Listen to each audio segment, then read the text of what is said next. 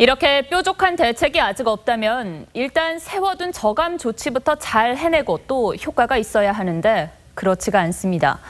정부는 대책 중 하나로 노후 석탄 화력 발전소를 조기 폐기하거나 가동을 중단하기로 했습니다. 그런데 발전량은 오히려 1년 새 10%나 늘어났습니다. 뭐가 문제인지 최수용 기자가 보도합니다. 신보령 화력 발전소가 뿜어내는 하얀 연기. 미세먼지로 뒤덮인 하늘을 더욱 오염시킵니다.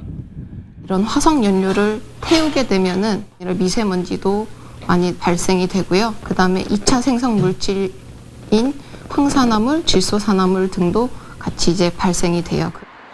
노후된 석탄화력 발전소를 점차 줄여나가겠다는 게 정부의 방침입니다.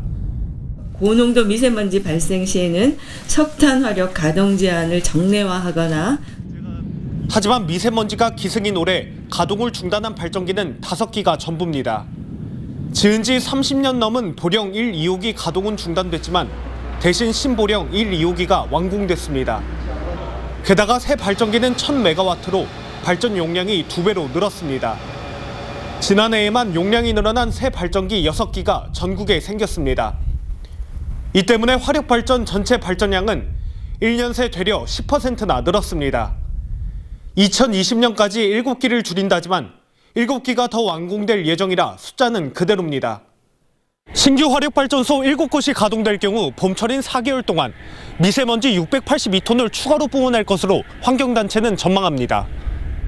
전국의 화력발전소는 61곳, 친환경 에너지로의 전환이 시급해 보입니다. TV조선 최수용입니다.